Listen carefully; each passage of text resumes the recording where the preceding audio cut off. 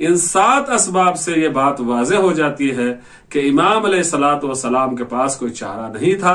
اس لیے امام علیہ السلاۃ والسلام نے جنگ نہ کرتے ہوئے صلح کی اور دین اسلام کو بچا لیا، مسلمانوں کے خون خرابے کو بچا لیا اور خوارج کے اسلامی ممالک اور اسلامی شہروں پر مسلط ہونے کو بچا لیا۔ اعوذ باللہ من الشیطان الرجیم، بسم اللہ الرحمن الرحیم وصلی اللہ علیہ محمد الطیبین الطاہرین.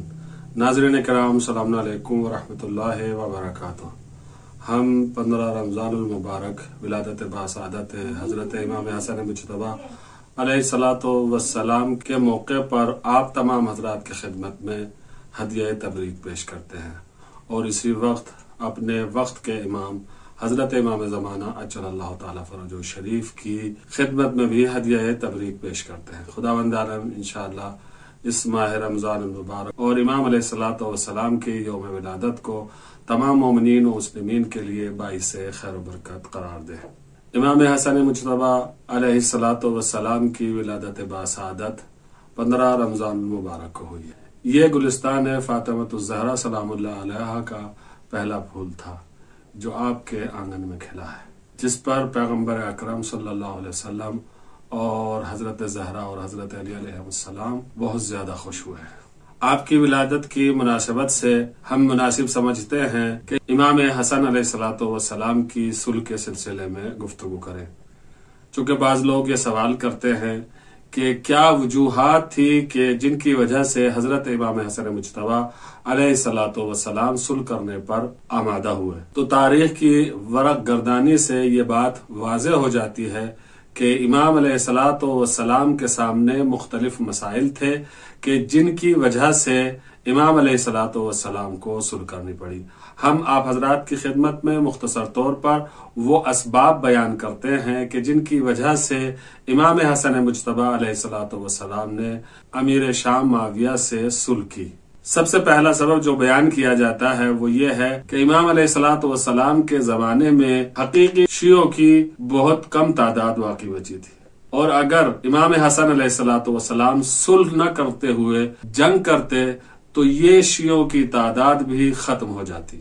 لہذا امام علیہ السلاۃ وسلام نے اپنے چاہنے والوں کی جان کی وجہ سے امیر شام سے سل کی۔ ایک دوسرا سبب یہ ہے کہ اگر امام حسن علیہ السلاۃ وسلام اور امیر شام کے درمیان جنگ ہوتی تو دین کے لیے بہت بڑا خطرہ تھا، کیونکہ دشمنان خارجی اسلام کی نابودی کے لیے کمر بستہ تھے اور اگر امام حسن علیہ السلاۃ والسلام جنگ کرتے اور صلح نہ کرتے تو اصل دین کے لیے خطرہ تھا۔ لہٰذا امام علیہ السلاۃ والسلام نے ایسے سخت ماحول میں اور اختلافات کے موقع پر سل کر کے دین اسلام کو بچا لیا۔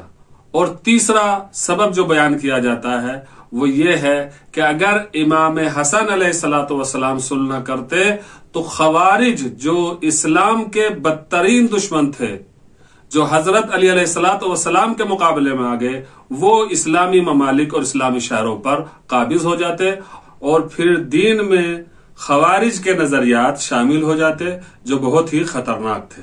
جیسا کہ آپ کو معلوم ہے کہ خوارج خود امام علی علیہ السلاۃ وسلام کے مقابلے میں آ گئے اور امام علیہ السلاۃ والسلام سے جنگ کی۔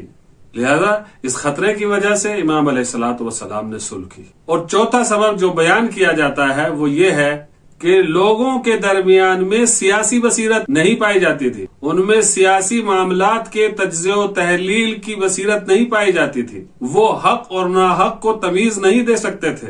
تو ایسے میں جب ماحول اتنا برا ہو کہ لوگوں میں سیاسی بصیرت نہ پائی جاتی ہو تو پھر مجبوراً امام علیہ السلاۃ والسلام کو سل کرنی پڑی۔ اور پانچواں سبب یہ بیان کیا جاتا ہے سلح امام حسن علیہ السلاۃ والسلام کا کہ امام علیہ السلاۃ والسلام کے پاس لڑنے والے سپاہی کی تعداد بہت کم تھی اور اتنے سپاہیوں میں بھی بہت سے خیانت کار تھے۔ لہذا ایسے میں امام علیہ السلاۃ وسلام جنگ نہیں کر سکتے تھے، بلکہ امام علیہ السلاۃ وسلام کو مجبوراً صلح کرنی پڑی۔ اور چھٹا سبب یہ ہے کہ لشکر کے بعض سردار ایسے تھے کہ جو معاویہ کے ساتھ سازش کر رہے تھے۔ اور معاویہ کی طرف سے دیے ہوئے لالچ میں آ کر امام علیہ السلاۃ والسلام سے خیانت کر رہے تھے۔ اگرچہ ظاہر میں وہ امام علیہ السلاۃ والسلام کے ساتھ تھے، لیکن وہ دل سے معاویہ کے طرفدار تھے۔ لہٰذا امام علیہ السلاۃ والسلام کس طریقے سے ایسے سرداران لشکر کے اوپر اطمینان کرتے اور جنگ کرتے لہٰذا امام علیہ السلاۃ والسلام کو سل کرنی پڑی۔ اور سلح امام حسن علیہ السلاۃ والسلام کا ساتواں سبب جو بیان کیا جاتا ہے، وہ یہ کہ امام علیہ السلاۃ والسلام کے لشکر میں بعض ایسے افراد تھے کہ جنہوں نے خود معاویہ کو خط لکھا کہ ہم امام علیہ السلاۃ والسلام کو اسیر کر کے دس بستہ آپ کی خدمت میں پیش کر دیں۔ تو جب لشکر والے ایسے ہوں، تو پھر امام کس طریقے سے، کن کے اوپر بھروسہ کر کے جنگ کرے؟ ورنہ امام علیہ السلاۃ والسلام مدینے سے جنگ کے لیے نکلے تھے، لیکن جب راستے میں حالات یہ دیکھے، تو امام علیہ السلاۃ والسلام کو مجبور ہو کر سلو کرنی پڑی۔ تو ان سات اسباب سے یہ بات واضح ہو جاتی ہے کہ امام علیہ السلاۃ والسلام کے پاس کوئی چارہ نہیں تھا، اس لیے امام علیہ السلاۃ والسلام نے جنگ نہ کرتے ہوئے صلح کی اور دین اسلام کو بچا لیا، مسلمانوں کے خون خرابے کو بچا لیا اور خوارج کے اسلامی ممالک اور اسلامی شہروں پر مسلط ہونے کو بچا لیا۔ اور اس صلح امام حسن علیہ السلاۃ والسلام سے ایک درس ہمیں بھی لینا چاہیے اور ہمیں اپنا حساب کرنا چاہیے کہ ہم کس حد تک امام کا ساتھ دینے کے لیے تیار ہیں۔ آج اگر ہم اپنے امام کے ظہور کے لیے دعا کرتے ہیں تو ہم نے کیا تیاری کی ہے؟ کیا ہمارے دل اس قابل بن گئے ہیں کہ ہم اپنے امام وقت کا ساتھ دے سکیں؟ دل و جان سے امام علیہ السلاۃ والسلام کا ساتھ دیں۔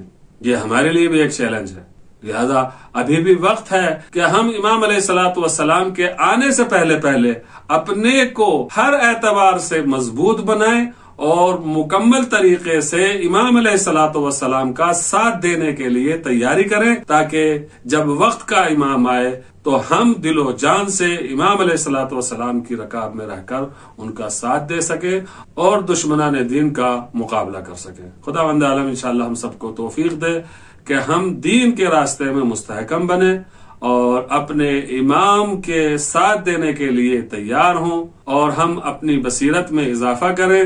دشمن کو صحیح سے پہچانے اور اس کے مکر و فریب سے خود کو نکال سکیں۔ خدا حق محمد وال محمد ہمارے امام کے ظہور میں تعجیل فرما اور ہم سب کو ان کے آوان و انصار میں شمار فرما۔ اپنا دھیان رکھیے گا، دعاؤں میں یاد رکھیے گا۔ والسلام علیکم ورحمۃ اللہ وبرکاتہ۔